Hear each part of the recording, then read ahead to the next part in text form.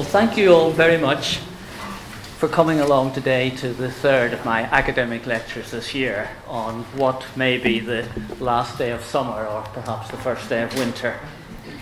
And this year, I'm taking as my theme some examples of really fundamental concepts of mathematics and how they have evolved. And today it's symmetry in groups. And groups are one of the most important structures in modern mathematics. And I hope by the end of this lecture that you'll be very familiar with them. Well, one of the most important patterns that a mathematician looks for is whether or not an object has symmetries. That is, is left unchanged or invariant after some operation. For example, reflection of a square or rotation of a square. The concept of a group of symmetries, the collection of symmetries that a body has, describes how much symmetry belongs to the object. And this concept of a group of symmetries is one of the most important in mathematics and also helps to describe and explain the modern world. Well, just as a number such as 145 measures quantity, that's the number of people there are in this lecture theatre at the moment, or a number such as root 2 measures magnitude, such as the length of a line, we can think of a group as measuring and quantifying symmetry. And mathematicians view the theory of groups as beautiful and significant. So let me give an overview of the lecture. I'm going to start with concrete examples. All my examples are going to be very concrete. And the essence of a group is that it's a collection of objects. It's a collection of objects with some way of combining or composing two of them to get a third object. And the way of combi- combining or composing them has got certain properties. And I'm going to illustrate this initially for the collection of symmetries of an equilateral triangle. And in particular, I will introduce what's called the Cayley table that shows how the objects are combined. And the Cayley table is named after the distinguished English mathematician Arthur Cayley. And then I will use the symmetries of an equilateral triangle to motivate the definition of an abstract group. I'll then go on, because it's really in the abstract of this talk, to compare the symmetries of a square and a rectangle. And we can work out what they are relatively quickly by, this, by that point in the talk. And I'll be able to show from the group of symmetries that the square is much more symmetric, as we all know, than a rectangle. I'll use that for an application to look at the symmetries, the group of symmetries of the platonic or the regular solids. And in particular, I'm going to see that some of these regular solids have got the same symmetry group, and we'll look for what is the underlying geometric reason. So I wanted to bring something in at this point that was an application of what otherwise you might have thought was a lot of arid nonsense. Then I'll turn to the structure of groups, and we won't be able to go very far naturally, but we'll get, reach the most important result of all, a result connecting subgroups. It's not hard to define a subgroup, it's just a little group inside a group. And the size of subgroups and the size of the group, and there's quite a lot of restrictions in those, and that's called Lagrange's theorem. Then we'll see an astounding example of that, of the um, application of Lagrange's theorem, which is called Fermat's little theorem in number theory, and you can astound your fellow companions on your way home in the tube by challenging them for to this particular result, and I'll give you details of that when we come to it. And that uses modular arithmetic, which is um, not looking at the integers, but looking at the remainders that you get when you divide by a certain integer. So, 24 hour clock is a standard example. Uh, when you get round to 24, you go back to 0 and then 1, 2, 3, 4, and so on. And then all I'm going to be dealing with in this talk, all you have time to deal with in a talk, starting to introduce the subjects to, you know, to non-specialists such as you know many or most of you are, is to deal with finite groups that only have a finite number of elements, but there's a whole big area out there to do with infinite groups, groups that have got an infinite amount of, um, an infinite number of elements, and they have got particular application in mechanics, in um, geometry, topology, and then, well, that, that's the way that the uh, particles are defined in um, the standard model. Okay, so let me look, start off at the beginning with an equilateral triangle. Okay. We take an equilateral triangle, take any one. Um, this is a particular one. And what we want to do is to count all the rigid motions that leave this triangle unchanged or invariant. So, in a sense, what I want to do is to count the number of transformations, rigid motions of this triangle, so that if you were to look away and I were to do one, when you look back, nothing would have changed. That's what I mean by rigid motion, leaving the shape invariant. Now, that would get tedious after a while. So we need to know what the actual transformation what is. So that's why I introduced labels. So we're going to be able to describe the different transformations that leave the triangle, which is the previous slide, leave that triangle the same. So there's one. I'll introduce some of them. Um, there's the trivial one, the identity. Now, the identity seems very boring, but it turns out to be absolutely crucial to, to the notion of grip. The identity just means do nothing, so that when you look away, I don't do anything, and when you look back, clearly nothing has changed. Perhaps more interesting is the one that rotates the triangle 120, 120 degrees anti clockwise. So there we see our triangle, it's rotated 120 degrees anti clockwise about the centre. So vertex 1, if you look at the bottom of the slide, goes to the left hand bottom vertex, uh, vertex 2 goes to the bottom right hand vertex, and the bot- vertex 3 goes to, to, to the top vertex. And we're going to give a name to this rotation. We're going to call it R for rotation. Then you could rotate by 240 degrees anti clockwise. That's performing the rotation R followed by the rotation R. And we write that as R squared, R to the power of 2. And you see what it does to the vertices of the equilateral triangle um, if you look along the bottom of the screen. So vertex 1 goes right round to the bottom right and you can see two goes to the top and so on. But doing this, it's such fun, we'll do it again. So we'll follow by the rotation R again, and what do you see? The vertices 1, 2, 3 have returned to their original positions. So another way of putting that without all this group theory nonsense is that rotating by 360 degrees brings you back to where you are but we do have some information in the way that we're presenting it. It means that R cubed is the identity. So already beginning to get some algebra coming in here. The operation R, rotating by 120 degrees, when cubed, gives you back the identity. Now, in the same way that rotating anti-clockwise gives you symmetries of the equilateral triangle, so rotating clockwise would do the same clockwise by 120, clockwise by 240. And I'll come back to those, those in a moment because I want to use the operation of turning the triangle over, or fact, uh, reflection, which is the same, but I want to use T for turning over, so that got using a different letter. So T is the transformation that turns the triangle over, keeping the top vertex fixed. So if you look at it, down below in the lower half of the screen, the vertex 1, the top vertex remains the same, but the bottom left becomes the bottom right, and the bottom right becomes the bottom left.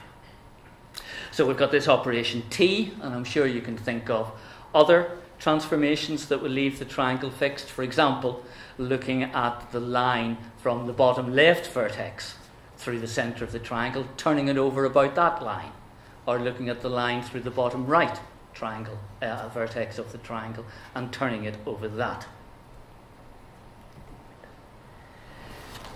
This is a crucial point.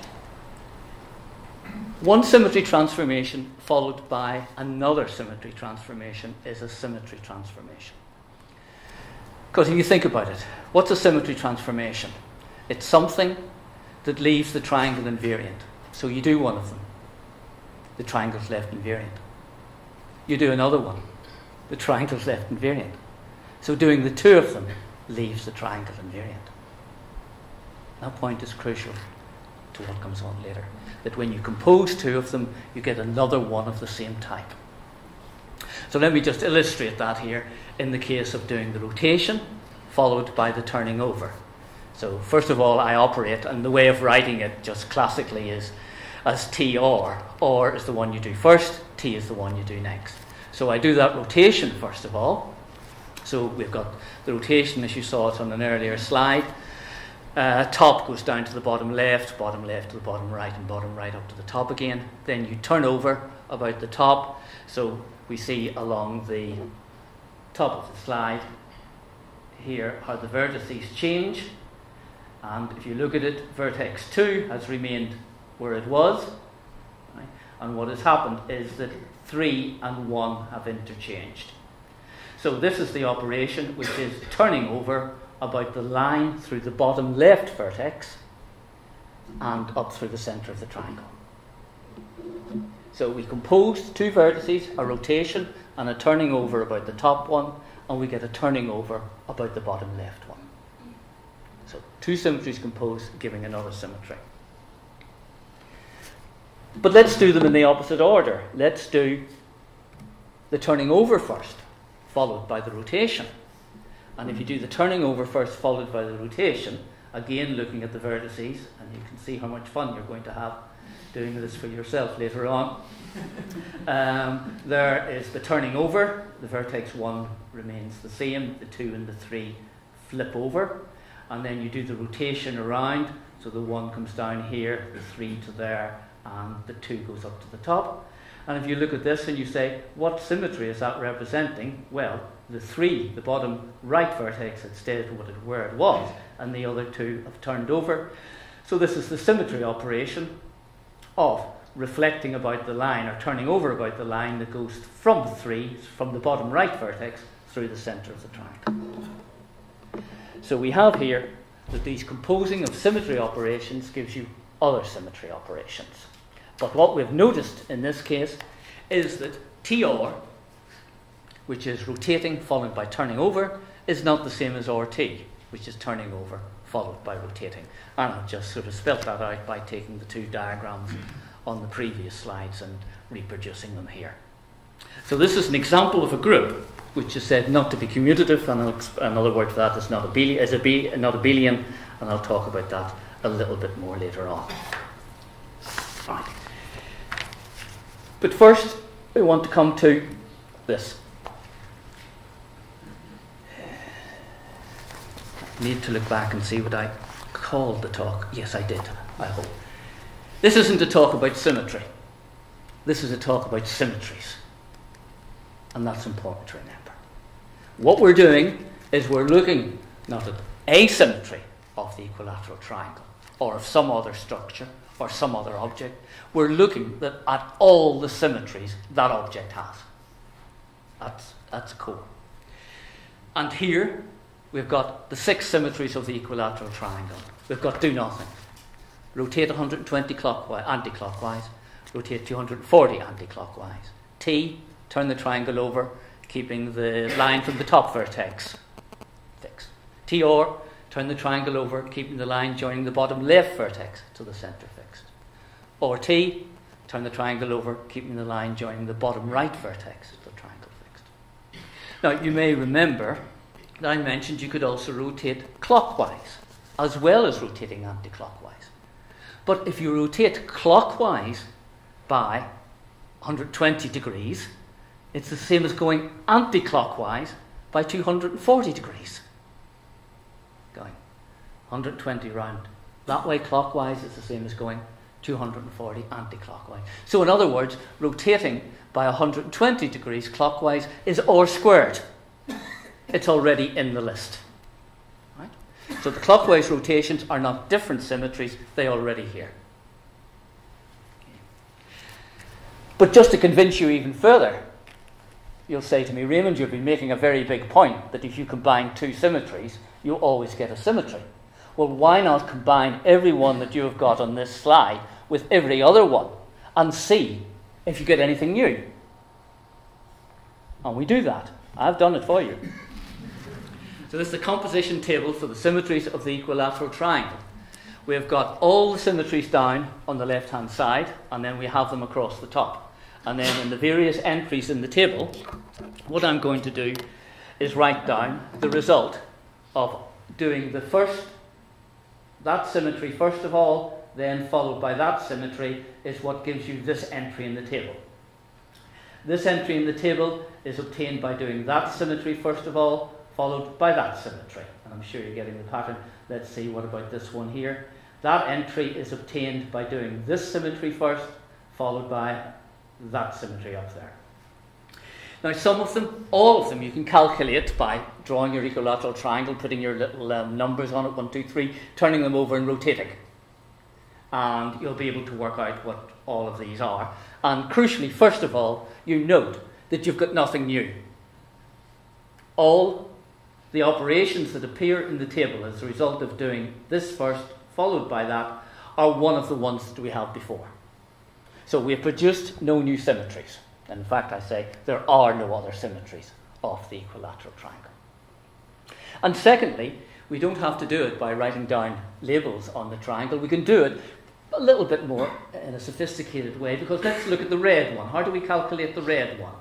Well, what we have to do is to do r squared first, r squared first, and then we have to do tr. Then we have to do tr.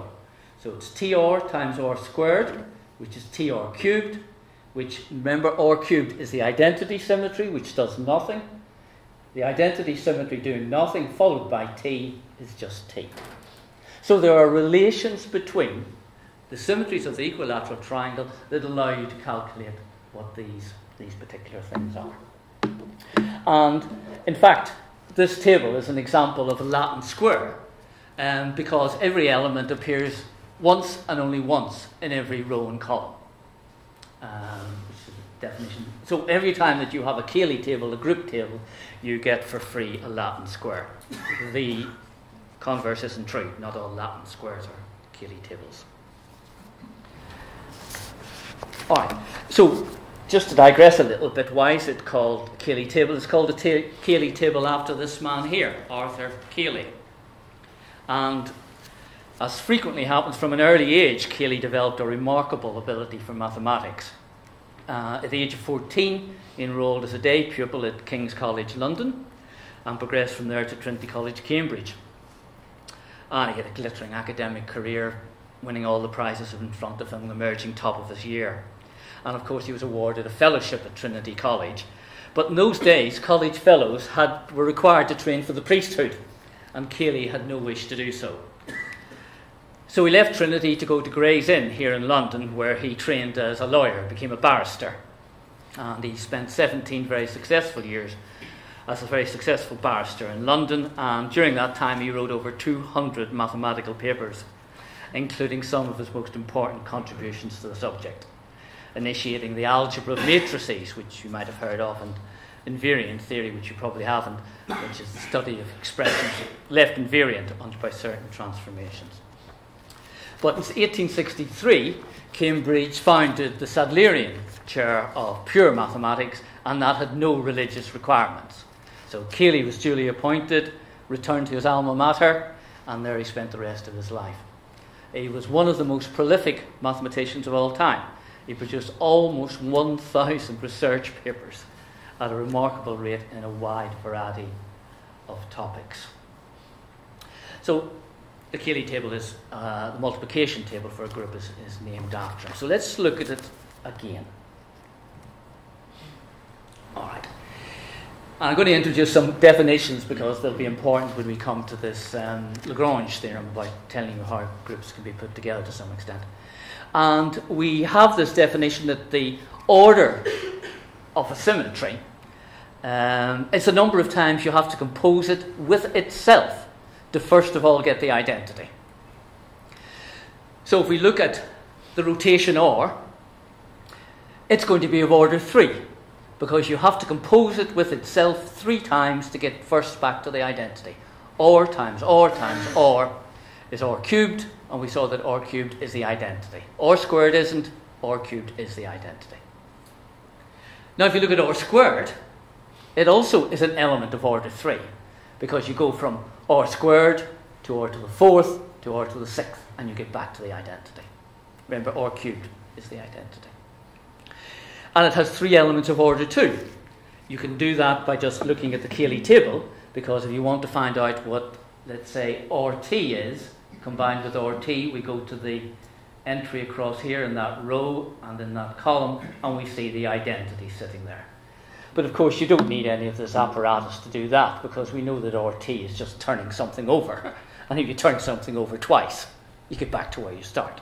So you don't need this apparatus in order to do it. And there's one element of order one. So, what I'm coming to now are really the most important slides of the lecture, the two most important ones about the definition of a group. Okay. So, we say that the symmetries of an equilateral triangle form a group. Now, what does that mean? The essence of it is that you have a, a particular collection of objects, a particular set. Here they are, the symmetries of the equilateral triangle. And you've got a way of composing two of them together to end up getting another element of the set. We call that closed. You don't go outside the set, you remain within it.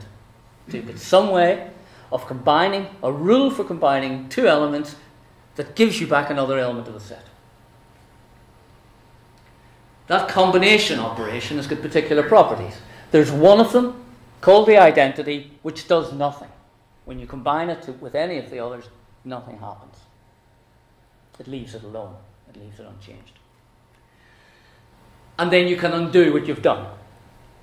If you perform any operation, any symmetry operation, there's another one that will allow you to combine both of them and you get back to the identity. So this identity is pretty crucial in all of it. And this definition took many decades to develop, and I'm giving it to you in, in less than a minute. So um, you're quite right to be asking, you know, why this, why important, but that's what I hope to be able to convince you of by the end of the lecture.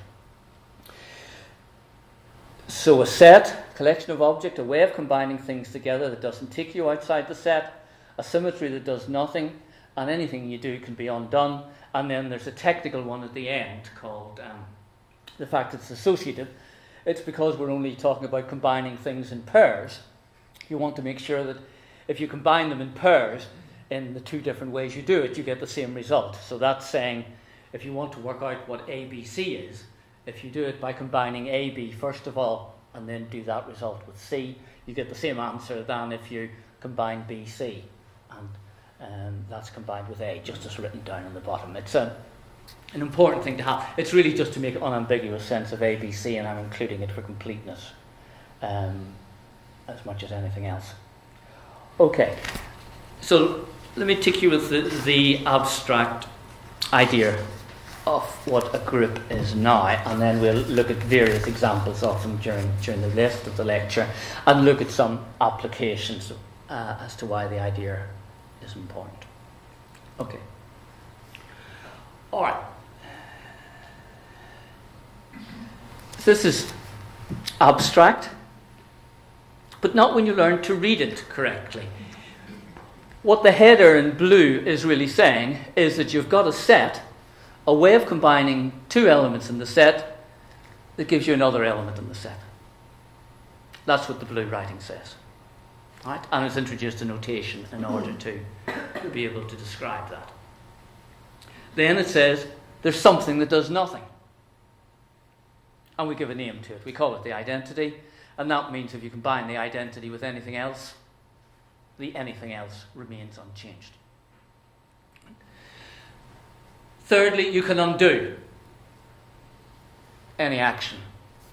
So that if you take an element in the group G, you can find another element in the group H, so that when you combine the two together, you get the identity in whatever order you happen to do it. So, no different from what we were talking about with the symmetries, but in a more abstract setting, and how modern mathematics develops is that there are lots of different sets upon which you can find or impose a group structure. And they give rise to lots of rich examples. That's how they tend to pop up everywhere and to be so important. And the associative law is that technical one I'd mentioned before. Okay, let me turn something I'm very proud of. I want to compare two groups of order six, and this is my drawing of six legs with six little feet at the end of them um, all equally spaced. The angles between them are all 60 degrees. So if we look at the symmetry group of this um, particular geometrical object, we see that it has a rotation by 60, which leaves it unchanged. Um, we know the combining symmetries gives a symmetry, so r squared will be a symmetry. So will r cubed, that's rotating by 180, r to the fourth, r to the five, but then when you do r to the six, you're back to the identity again, because that's rotating by 360 degrees. Okay. So we've got two groups now with six elements. We've got equilateral triangle, the six elements, and we've got this one here. But they're very different groups, as you would expect, because the figures are very different. The reason I put the little feet onto the end of here is so that we have no turning over symmetry or reflecting symmetry. Because if you turn it over, the little feet go in the opposite direction, they go the wrong way.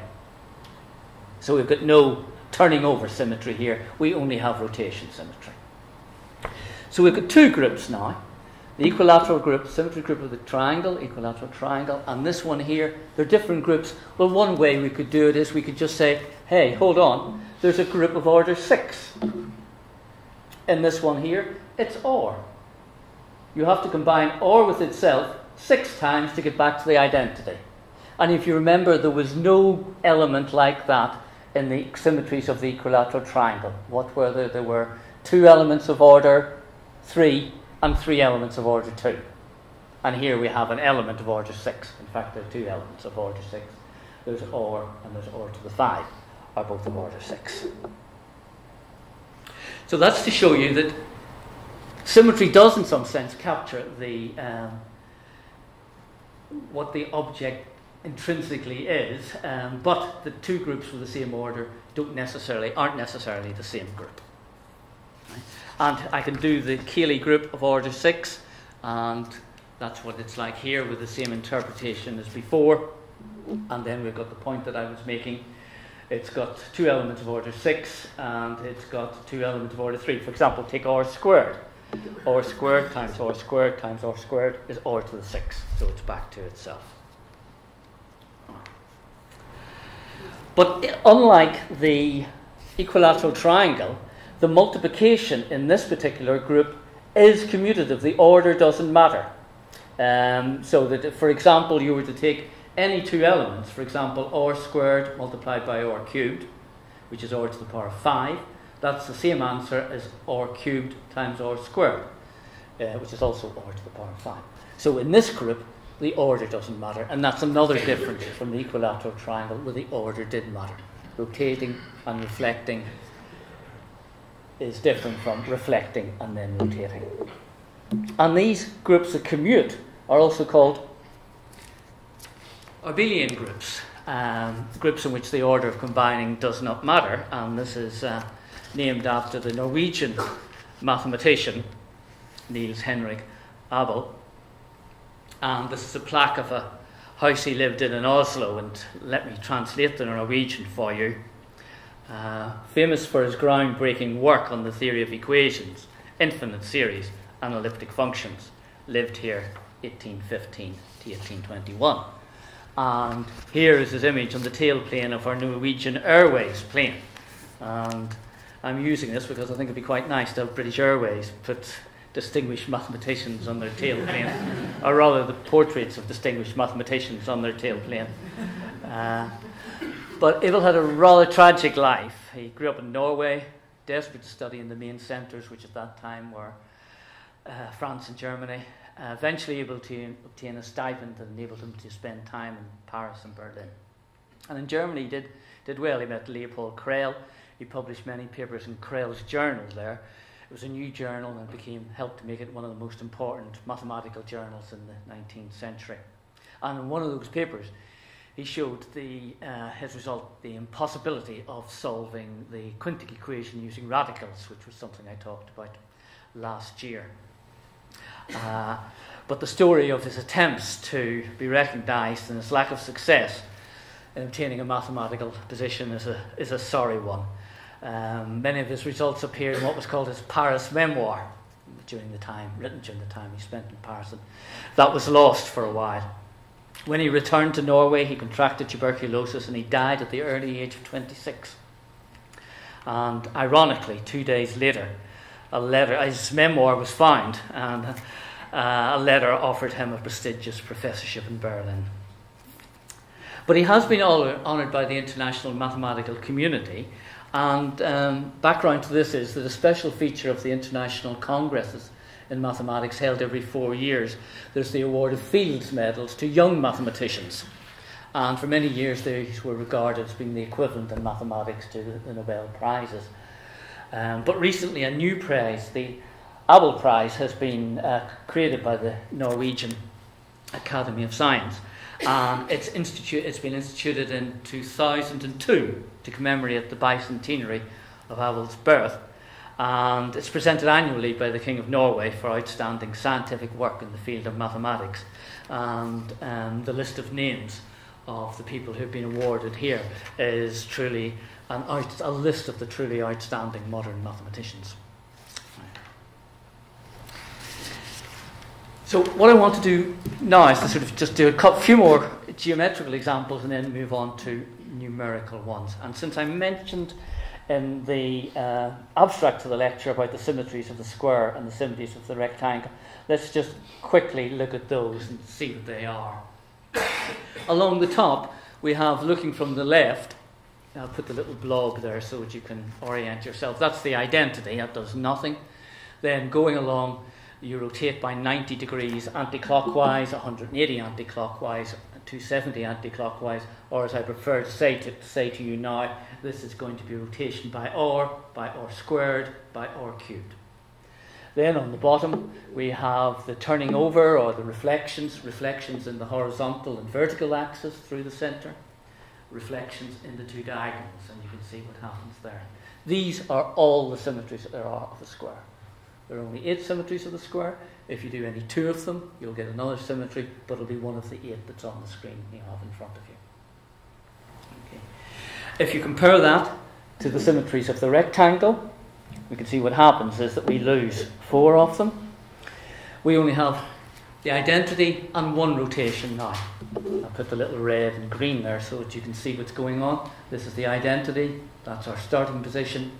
Here we rotate by 180, so we've only got a rectangle. I'm taking, I know a square is technically a rectangle. I'm taking a rectangle with adjacent sides of different lengths um, in this example so that we only have a rotation by 180. We don't have a rotation by 90 now. And also, you um, turn about the vertical axis V, and you've got um, uh, turning about the horizontal axis here. So we only have the four operations of the rectangle compared to the eight operations of the square, and that is the difference in the two symmetry groups. And in fact, if you look at the symmetry group of the rectangle, um, which I've written down there, again, that's just to show you that you don't get any new symmetries when you do it. But it's also an abelian group. Um, the order in which you combine any two elements doesn't doesn't matter. Um, v times h is the same as h times uh, Uh, v. Or another way of thinking about it, it's symmetric about the leading diagonal going down here. If you look at the symmetry of it, it looks the same going in those things at the right angle. Okay. So that's quantifying, that's measuring completely all the symmetries that we have of the square. And I want to use that material that we've done, I think, to show something that really is quite pretty. And it's about the symmetry groups of the five regular, the five Platonic solids, um, and uh, the tetrahedron. Uh, so with the regular solids, all their faces look the same, and when they come together at a vertex, all the vertices look the same as well. They're all regular, the same face for each of them. Sorry, within a particular one, they all have faces which are the same, and within a particular one, at any vertex, all the vertices look at the same. So the, the tetrahedron there, four faces, each an equilateral triangle, cube, six faces, each a square, octahedron, eight faces, each an equilateral triangle, and dodecahedron, 12 faces, each a regular pentagon, and the icosahedron, 20 faces, each an equilateral triangle. Okay. And in my lecture in January, um, I hope using Euler's formula to indicate how to show that these are the only five regular solids. Okay, so let me tell you how to calculate the symmetries of them. Let's start with the tetrahedron. So you take your tetrahedron and you choose one face as a, as a reference face. And what you can do is you can rotate every other face to become to that reference face. And since there are four faces, leaving things alone is one of them. Since there are four faces, there are four ways of doing that. So you can rotate the tetrahedron to get um, each of those four faces to be the one that you've chosen to be the reference face. Then, once you've got that as the reference face, that's an equilateral triangle. But we know how many symmetries there are for equilateral triangle. You must you might be having nightmares about it, I've said it so often. There are six of them. Four ways of rotating to get to the reference face, six symmetries of the, um, the reference face once you get there. Four times six is 24. So the size of the symmetry group of the tetrahedron is going to be 4 times 6, 24. Well, let's do the cube. We can do it together. You've got six faces in the cube. One of them you choose as a reference face. So there are six ways of rotating the cube to get that, uh, get every other face to be uh, coincident with the reference face. Then again, we've just done it. We know the symmetries of the square, which is the face, and the number of symmetries of the square is 8. So you get 6 times 8, which is 48. So the size of the symmetry group of the cube is 48. And I've done it for all of them here. The answer turns out to be 2 times the number of faces times the number of edges. So the number of symmetries down the right hand column is 2e times f. And the argument is just the same as we've been doing before and before. You've got uh, f ways of moving the faces round to the reference one, and then once you get there, there are two e symmetries of the uh, reference face. Now, what you get when you look at this is you see that the cube and the octahedron have got the same, have got uh, their group of symmetries has got the same size, the same number of elements. Um, and similarly for the dodecahedron and icosahedron. Now we know having the same size doesn't mean they're identical, but it turns out in this case that they actually are. If we were to write down the Cayley table for the cube and the Cayley table for the octahedron, there's a way of pairing off the elements in the Cayley tables so that when you pair off the symmetries of the cube with the symmetries of the octahedron, it turns the Cayley table of the cube into the Cayley table of the octahedron. And we say in that case that the groups are isomorphic. So, why is it that the symmetry groups of the cube and the octahedron are the same? Well, the reason is that beside, inside every cube, there's an octahedron. You take the center of each face of the cube and you join them up. And what you have inside that cube is this octahedron. And any symmetry of the cube is going to leave this octahedron invariant as well. So every symmetry of the cube is the symmetry of the octahedron. But it gets better. Inside every octahedron, there's a cube. You take the center of each face of the octahedron and you join them all up and you get the cube. So every symmetry of the octahedron is going to give you a symmetry of the cube.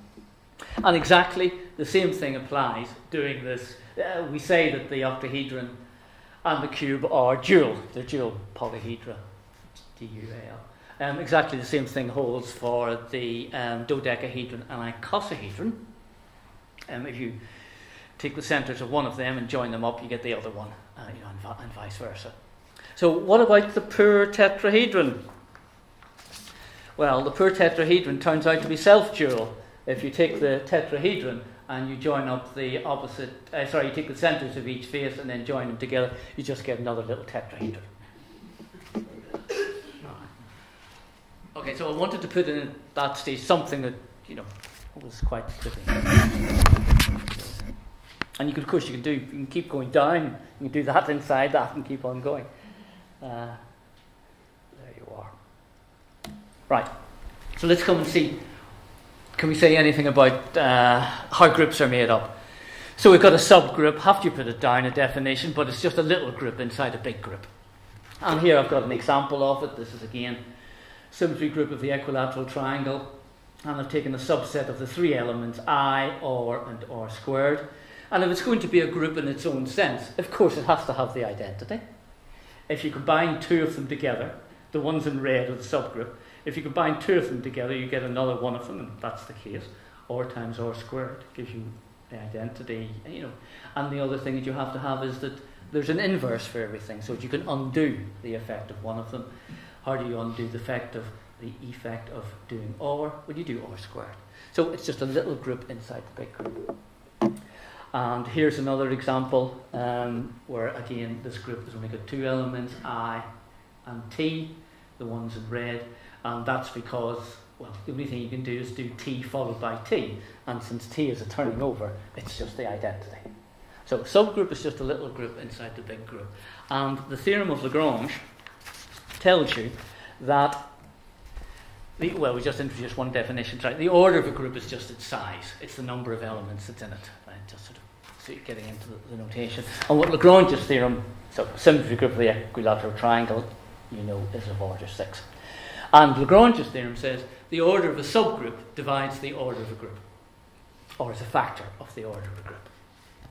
So, for example, the group of symmetries of the equilateral triangle has order six, and the subgroups that I showed you, one of them had order 3, 3 divides into 6, and the one of them IT has order 2, and 2 divides into 6. Right? Now, the proof of it isn't, isn't too hard. It just shows you the subgroup allows you to divide the, the group into so many sets of the same size. That's how you, you do it. So all we want here is that the order of a subgroup divides the order of the group. And I'm going to get a couple of consequences of that coming up here now. And there are two consequences. This is the first one. If you take an element and you keep multiplying it by itself, you're going to get back to the identity. We've seen that with rotations and we've seen that with reflections. But it happens in general. If you take an element, you're going to get back to the, the identity. If you take that little set, it in fact is a subgroup. Because just look at it, you know, it's g, it's g squared, g cubed, g to the fourth, g to the fifth, and so on, back to the identity. If you multiply any two of them, you get another one of them. You know, g to the 4 times g to the 3 is g to the 7. And there's an inverse for every one of them in there. So it's a little group. So that means its order, the order of the element g, that also has to divide the order of the group. All right, so that's, if you've got a, a group, sorry, if you've got a group, yeah, and you take an element in it, if you keep combining with itself, you're going to get back to the identity. That collection of elements forms a subset, and we know that the number of them must divide the size of the group. That's what Lagrange's theorem said. Okay? And let me do the other consequence, and then we'll look at the examples, which I hope will try to um, make this more concrete. So, all we're doing here now is we've got this restriction, so let's look at this now.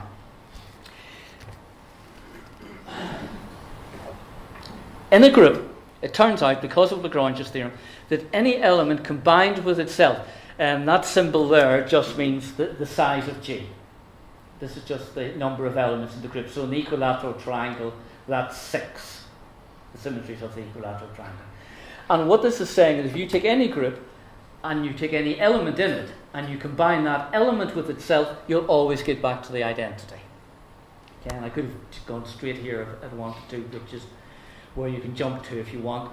So suppose the order of the group is 12 and the order of the element is 4. Then if you combine G with itself 4 times, you get the identity. So combined with itself 12 times will also give the identity. So until you have a chance to sort of look back on this and uh, perhaps get a chance to reflect on it, just sort of hold on to that at the moment. It's saying that if you have discovered or divined or been handed a group, a finite group, then you know that if you take any element in it and compose it with itself, the number of times, which is the size of the group, you get the identity. That's for any element in the group. Okay, that, hold on to that. I could have recast that as a sort of you know, pseudo um, Lagrange theorem. Okay. Now that's what's going to make the idea of a group so powerful because if you can find one of them, you can say this about every element in it. Let me show you, if you just hold on, how powerful that is. First of all, I'll just to introduce it gently, introduce the idea of remainders or of modular arithmetic. So, what we're going to do now is we're going to take some integer for example, 24. The 24 hour clock is a, a classic example. And we look at the remainders that you can get by dividing by 24. In that case, I've listed them all down towards the bottom of the slide 0, 1, 2, 3, up to 23. And for an integer n, it would be 0, 1, 2, right up as far as n minus 1. They're all the answers you get when you divide by n. And the operation, how are you going to combine two of these remainders together? You're just going to add them normally, but take the answer, divide by 24, and write down the remainder. It's called modular arithmetic. You, you're only dealing with the remainder. So there are some examples. Seven combined of using that um, little symbol for plus for the combination because it's just to remind us that when we add them together, then we take the remainder by dividing by 24. So 7 combined with 21. 7 added on to 21 is 28. But what's the remainder of 28 when you divide by 24? It's 4. Or another way of saying it, 21 hours after 7 o'clock is 4 o'clock. Here you take 15, added on to 10. 15 and 10 is 25. What's the remainder of 25 when you divide by 24? The answer is 1. Um, the identity of the group is 0 because if uh, you add 0 onto anything, you leave it unchanged. And that's what identities do. Identities do nothing. And the inverse, they all have to have inverses. Well, the inverse of 7 is 17 because 7 and 17 is 24 and the remainder of dividing 24 by 24 is 0. And the remainder of 3 would be 21. And you can do some for yourself. Okay. All right. But there's another operation that the integers have. And that operation is that you can multiply them together. Um, yes, no, I just want to say one of the reasons I introduced this is that these examples for every integer n, they're, they're all abelian, they're all commutative groups. And what you can in fact show is that every um, finite commutative, every finite abelian group can be made up of groups of this type. So they're an important category of groups because they allow you to um, build up every finite abelian group. Okay, so let's look and this is the one that's going to enable us to show Fermat's little theorem. We're going to look at the remainders dividing by p, but we're going to look at the non zero ones. Um, and the reason we're looking at the non zero ones is because we're going to multiply, and zero doesn't help us in this argument. So the group operation is we're going to multiply, but again, we're taking the remainder after dividing by p. And we take p to be a prime. So, for example, with p equal to 7, what are the remainders? The remainders are 1, 2, 3, 4, 5, and 6. The group operation is to multiply 2 together, divide by 7, and get the remainder. So that 2 times 5 is 10. What's the remainder of 10 when you divide by 7? Is 3. 4 times 4 is 16. What's the remainder of 16 when you divide by 7? Is 2. The identity is 1. If you multiply by 1, you leave the thing that you multiplied by unchanged. Let's find out what the inverse of 2 is. Well, what we're looking for is we want to, want to multiply 2 by something that will give us 1. And the answer is 4 because 2 times 4 gives you 8 Divide 8 by 7, and the remainder is 1. Right? The inverse of 3 is 5, because 3 fives are 15. Divide 7 into 15, and you get 1 as the remainder. Of 6 is 6. 6 sixes is 36, divided by 7, gives you a remainder of 1. Okay. Now, do you remember what I said a few slides back that if you have a group, then, and if you take any element in it, and you raise it to the power of the number of elements in the group, you get the identity. So this, that result tells you the following. Pick any prime p. Everybody picks 17. Pick any integer less than that. 10. Then 10 is a member of the group of integers that I've just described for the prime 17. Is that right? You pick a prime, 17. Any integer smaller than it, 10. 10 belongs to the group of uh, integers less than n under multiplication. Okay. So that means, by the big result that I was pushing earlier on, that 10 to the power of 17 must be the identity, which means that 10 to the power of 17, sorry, um, what are the number of elements in the group? The number of elements in the group is 17 minus 1, isn't it? It's 16. Right? Because you look at all the integers less than p 1, 2, 3, 4, up to p minus 1. Right? So that means 10 to the power of 17 minus 1 is 10 to the 16. Must be the identity. What does the identity mean? It means leaves a remainder of 1 when divided by 17. If you take 10 to the 16, which is 1 followed by 16 zeros, and you divide by 17, the remainder is 1. What if you take 9 to the power of 16 and divide by 17? What's the answer going to be? Well, 9 is just another member of the group. A member of the group raised to the size of the group 16 divided by 17 is going to give you 1. It's so remarkable that I actually did the calculations by doing the divisions. 8 to the power of 16. Divide by 17, the remainder is 1. All right.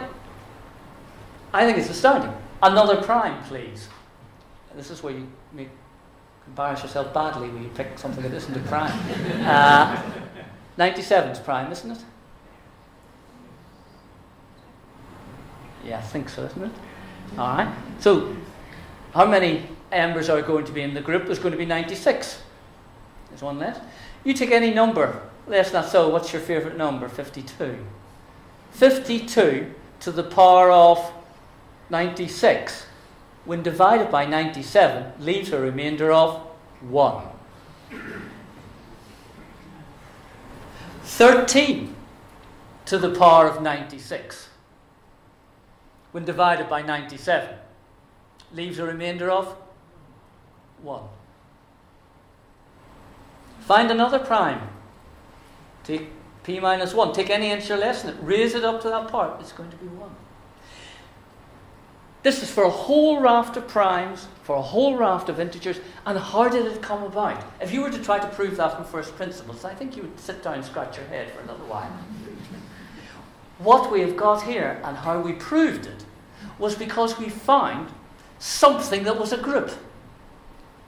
It was the remainders on dividing by p. We were able to show that those remainders on dividing by p were a group. And we know that if they are a group, if you take any element and operate it on itself, the number of times which is the size of the group, you get back to the identity. So it was, in a sense, being able to divine that structure to be able to associate a group and whatever to it. And you get all of these results coming out for a large class of numbers and a large class of primes. And that's Fermat's little theorem uh, called Little Theorem to contrast with Fermat's last theorem. It's usually stated in the way down at the bottom there, but I think that's much much nicer way of being able to do it. Okay, just to finish then. Right, I want to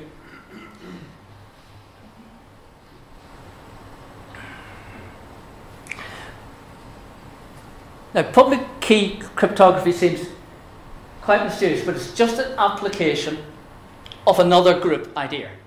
And I just want two minutes to tell you that it's in the notes, it'll be in the handout that you'll get. We had to take a prime the last time because of various reasons. The, the reason it had to be a prime was that um, uh, otherwise, you, you could, if it wasn't a prime, you could multiply numbers together and get, get zero. But here, what we do is we take any, an integer n, in fact, it's, it's a product of two primes, 5 and 7, and we look at all, maybe ask you to cast your mind back a long way, all the integers that are relatively prime to 35. Now, relatively prime to means they've got no primes in common.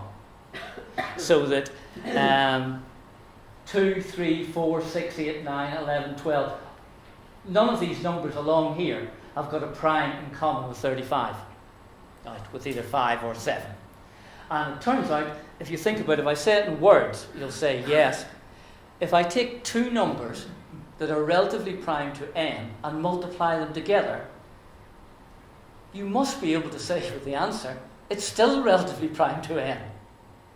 Because if neither of them had a factor in common with n, multiplying them together, they're not going to have a factor in common with n. But you're getting excited now because you think that's going to be a group. It could be a group. It's closed. It's an operation that is closed. I do it and I get one of the set. And when you check it through, it is. It has to have an identity. The identity is our old friend 1, and you can go through it and check that each of those um, gives you a. I'm sorry, that each element in that there has an inverse. Okay, now what happens, and then again we've got this result that um, what you're able to do, the order of this group, if you count those elements, it's 24. So that means that any one of these raised to the power of 24 gives you back the identity. That's what the theorem said earlier on. Any one of these numbers here, raised to the power of 24, when divided by 35 gives you back the identity. And that's exactly what is happening, as you'll see in the slide when you have a chance to look at it. What you do for public key cryptography is you choose two big large primes, multiply them together, um, and publish this number n. And the secrecy hides upon the fact that it's very hard to find the prime factors of things. Also, you find two numbers that, when multiplied together, have a remainder of 1 when you divide by 24. And when you put that all together, when you have a chance, but it's using this result down here because here you have the message is just a number being raised to a power of 24, so it gives you back the identity, and um, that's where it all lies upon. So, to just bring it back to, whoops, it's that one there. Public key cryptography, when you have a chance to look at it, just is using this idea here. The message is divided into blocks, and the blocks are so, um, um, then they're encoded using numbers. And all we're saying here is we're using the fact we, we create a little group, or a big group actually, um, of all the numbers that are relatively prime to things, and then you're able to be able to use this result that when you combine something, when you raise it to its own power, it gets you back to where you were. Alright, so that's essentially the end, except just a couple of concluding remarks, and before that, just to say to you is that that what you're really finding is something here that if you can identify a structure in many different settings, then this structure of a group allows you to use general results to obtain lots of very particular examples. That, that's the power of it. That, that's the power of the abstraction. Um, and that's why people, for example, um, introduce groups to find them, because they then know they've got a whole raft of machinery that they can apply to it. And what I've been trying to show you is just one or two examples, and it, it's very hard on you. I've been very hard on you. You've been very good. You're still here. Um, is to show you one or two of those examples that when you get a chance to look back on, you can see that once you have this thing, you get a lot of things coming out of it for relatively little work once you've set up the framework. Okay. Well, I didn't have any chance to introduce infinite groups, says you, thankfully. Um, but if you were to, you know, they're easy to think of. If you think of rotations of a circle about its centre, you can rotate a circle about its centre by any angle, and you still get a symmetry of the circle. You know, so there are lots of infinite groups around. If you take all of the integers under addition, that again forms a group because um, it's closed. Um, any two integers added gives you an integer there's an identity which is zero, and um, there are inverses there too. All right. And these infinite groups are also crucially important. Much of modern um, science and mathematics is couched in terms of them. it's used within mathematics itself and geometry topology. Um, particularly nice example is in mechanics. They're, they're described by certain equations, and these equations have got certain symmetries to them. So these now are equations of symmetries, not equations of a shape. But what do those equations, what do the symmetries of those equations relate to? Well, if you've got a certain kind of symmetry, you get conservation of energy. A certain kind of symmetry relates to conservation of angular momentum. So there's a mapping between the two kinds of things. And then, if you go to look at these Higgs boson or quarks or whatever, all these elementary particles, essentially what they're doing is they're relating to particular groups and particular representation of groups that you have within the, the standard model for particle physics. So I'm really trying to say to you that it's the language within which um, so much of science and so much of mathematics is expressed. So it is, I, th- I felt worth sharing with you. So, anyway, thank you. You're the first people to whom I'm going to say have a Merry Christmas. Um, I hope you have lots of group activities, and I hope to see you in January for surfaces and topology. Thank you.